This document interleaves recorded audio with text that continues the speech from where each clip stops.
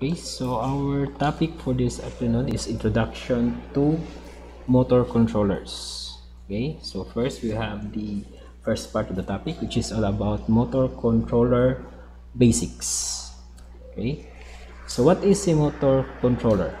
So it is a device or group of device that serves to govern in some predetermined manner the performance of an electric motor. A motor controller might include a manual or automatic means of starting and stopping the motor, selecting forward or reverse rotation, selecting and regulating the speed, regulating or limiting the torque, and protecting against overloads and faults. Okay, so from your answer on the Mentimeter, so some of you, uh, some of you mentioned, no? The protecting against overloads and faults so overcurrent protection. Also starting and stopping the motor. Okay so you have given the correct answer. So in summary a motor controller is a device no? It could be a single device or a group of devices. So its main purpose is to govern no? Govern or to control the performance of an electric motor. Okay, so we have two common types of motor controller. So first we have the direct online or the DOL and we have the reduced voltage starter. So for the direct online starters, so it is the simplest of method of starting motors. So it usually used to start motors of low HP or horsepower rating. Typically not more than 5 horsepower. So the direct online starting is sometimes used to start small water pumps, compressors, fans, and conveyor belts. So the direct online, so you could apply or you could use the direct online starter on low HP motors, no? Typically not more than 5 horsepower. Okay, so its main application is for water pumps, compressors, fans, conveyor belts, no? For conveyor belts. Then we have the reduced voltage starter. So if we go beyond the 5 horsepower rating of a motor, so there is now the so-called black current, no? A lock rotor current.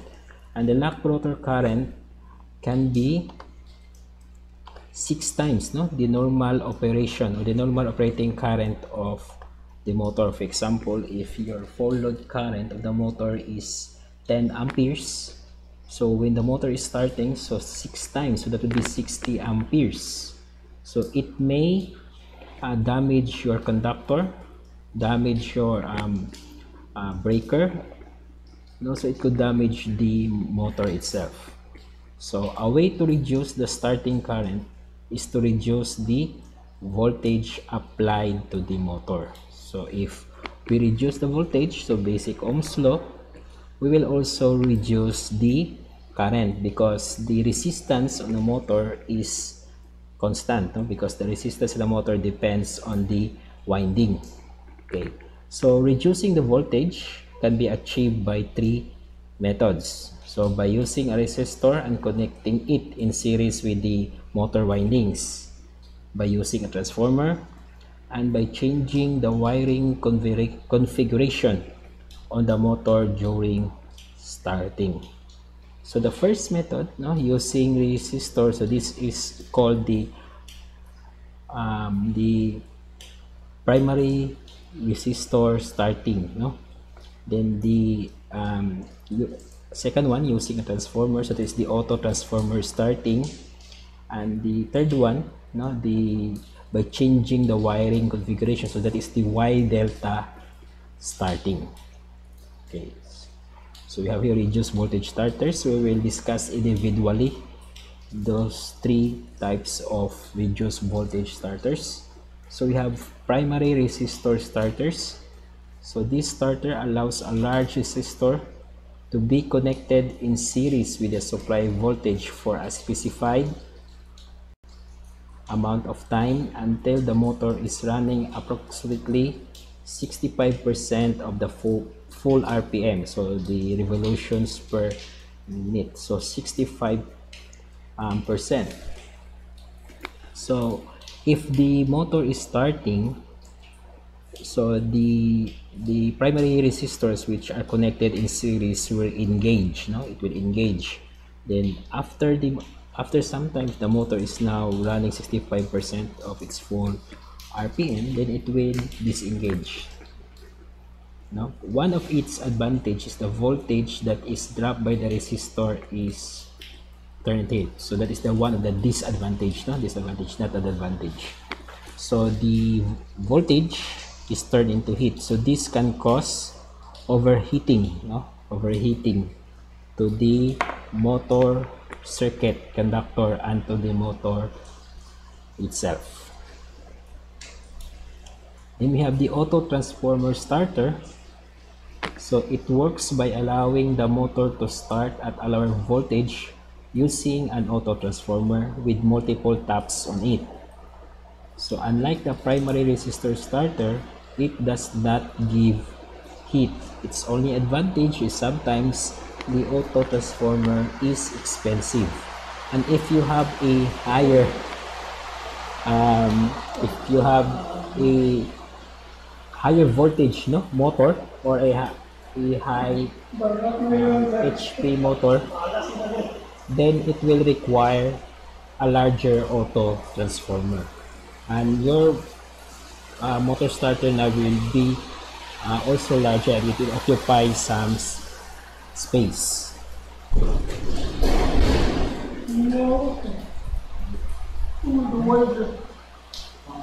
Okay, next we will go to Y delta. I'll go now to the Y delta starter. Okay, so this starter is utilized uh, utilizes the reconfiguration of the motor terminals to reduce the voltage. So the motor is start up at a lower voltage by configuring it to the connection of a Y, no? And then sometime reconfiguring it to connection into delta. Okay, so at the starting of the motor, the winding of the motor is configured as Y so that we could reduce the voltage and thereby reducing the lock rotor current. Then after some time, so usually we're using a timer, no? So 3 to 5 minutes. So depending on the HP of the motor, it it will um, reconfigure, no? Into delta. So by that moment, so the, the motor can now function in its full RPM or full speed and can give a full torque.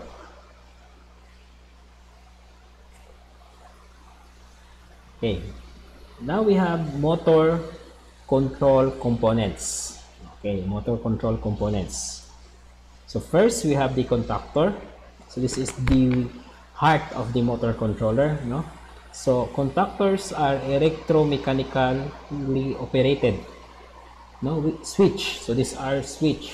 When you say electromechanically, so by electromagnetism. So, that provide a safe and convenient means of connecting and interrupting branch circuits. So, this is a contactor, no? So, the brand is ABB no? So as you can see we have here L1 L2 L3 so I hope it will be clear on your cell phone screen. You have T1 T2 and T3 so when we have L1 L2 and L3 that is the supply no? The wire so the wire of the supply. So if you are going to wire this one so the supply wires will connect on this terminals, three terminals. Below is the T1, T2, and T3. So that is the uh, the um, terminal wherein the terminal of the motors will be connected. Of course, the the contactor can be reversed if it is a AC contactor. But if we are going to follow the standard, no, the standard, so we must put the uh, proper wires to its uh, proper terminals. Then this one, the last terminals or the last pair of terminals. So these are the auxiliary terminals. So as you can see, it is NO. When we see NO, normally open. Okay. So we will discuss further what is normally open and normally closed um, um, later on this uh, discussion. No? Then we have push button. So this type of hand switch is a two position device operated with a button that is pressed and released. Most push button switches have internal spring mechanism returning the button to its out or unpressed position for a moment operation. It comes in a momentary or maintained action. So the takeaway for this one is the push button is momentary. So when we say momentary, for example, if you push that one, it will uh, on or off the circuit. Then if you will remove your finger, then it will go back to its normal state. Either it is that is normally open or normally closed. So this is a push button. So when we have the green, the green is usually run or go. Then red is stop or idle. So, then we have selector switches. You know? So these are actuated with a rotary knob or a lever of some sort to select one of two or more positions. So like the toggle switch, selector switches can either rest in any of their position or contain a spring return mechanism for momentary operation. Okay, so this is a selector switch. So the selector switch, you could select uh, different positions. Positions. So the the common uh, usage of a selector switch is in your electric fan so the electric fan uses a selector switch but in motor controllers so the selector switch is mainly used to set your motor controller either it will be manual or automatic then you have limit switch so these switches are operated by machine machine motion. So they are useful in automation and control application. So when we say machine motion, so if this part of the switch here will be um, pressed no, by maybe a, a, a action of a machine or a certain weight no so it will turn or turn off the motor controller depending on the normal state of the switch if, it is normally open or normally closed. Then we have the control relay. So used as auxiliary device to switch control circuits and large motor starter and contactor coils. And to control small loads such as small motors, solenoids, electric heaters, pilot lights, and other relays. So the control relay can act like a contactor but in small motors no? So if it is now larger motors we will use the contactor. So usually if we are um, going to uh, have our motor controlled by a uh, PLC, uh, prog programmable logic controller. So the output of the PLC will be feed into into the controller, and the output of the controller, uh, now the control relay. Then the output of the control relay will be feed no, into the contactors. So so by that, so we could say that the the controller will serve as uh, serve as the bridge between the PLC and the contactor.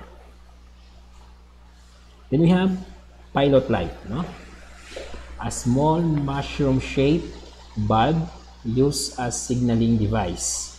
So each color represent a state in the motor control operation. So these these are the common common um,